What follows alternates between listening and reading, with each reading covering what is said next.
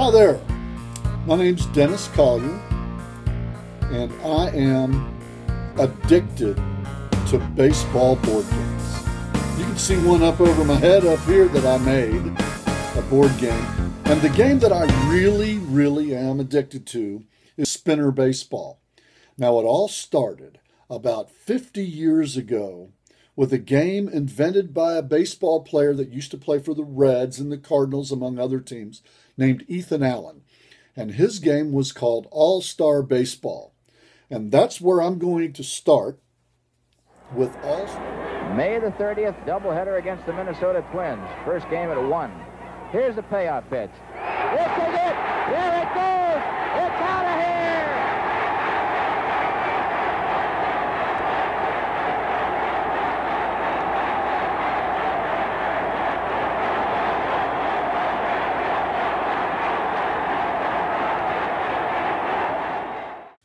Now, the game itself came in this big box. You'd get it at the store. We'd go wherever we could go to get it.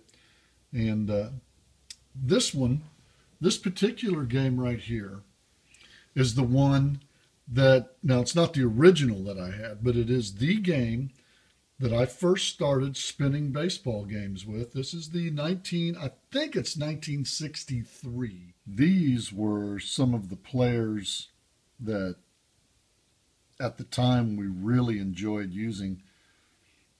There's uh, Rocky Colavito. We just liked his name, and I came from an Italian neighborhood, and it just sounded like a good one to play. Ernie Banks at shortstop was different because at the time he was playing first base for the Cubs. And this kind of freaked us kids out because there he goes as a shortstop, so we could use him as shortstop. And that one right there, we just liked his name. You know, we were we were nine. Heck, saying that that was just fun. Nine, ten year olds saying that that was just cool. Look at it and see. We liked Gene Freese because he was on the Reds. We just thought that was a great guy to have. And we liked using this guy because he was a pitcher and could hit home runs. We just thought that was great at the time.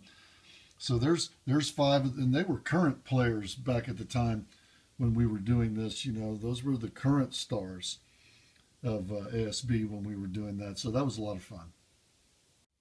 This is what it was all about right here. That's what it was all about. Taking a card like that, just mm, putting him on the spinner and just going after it. Look at that. Bam! Home run. Hank Aaron.